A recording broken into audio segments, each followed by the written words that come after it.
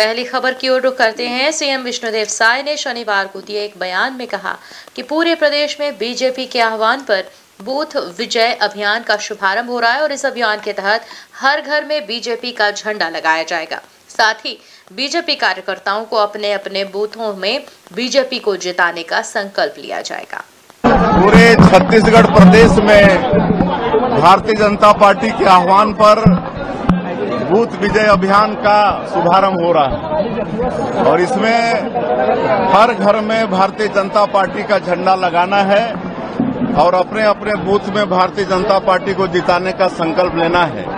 और मेरा सौभाग्य है कि आज ये कांदुल गाँव में हम यहाँ पर आए हैं और इस अभियान का शुभारंभ कर रहे हैं। अभी हम दो चार घर में अपने हाथ से भारतीय जनता पार्टी का ध्वज लगाएँगे। बाकी सभी हमारे कार्यकर्ता और मतदाता अपने अपने घरों में भारतीय जनता पार्टी का ध्वज लगाएँगे।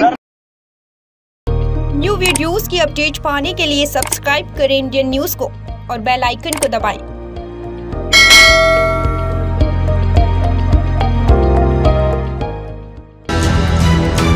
ये है इंदू ब्रॉडकास्टिंग प्राइवेट लिमिटेड और आप देख रहे हैं इंडियन न्यूज़ हर पल हर क्षण हर सच।